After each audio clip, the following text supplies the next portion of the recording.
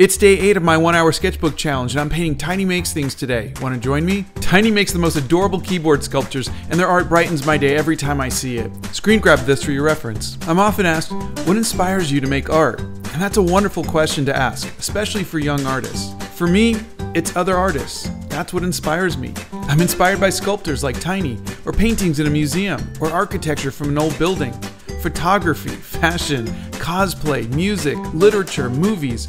Art inspires art. So go out there and get inspired, make new art, and inspire others.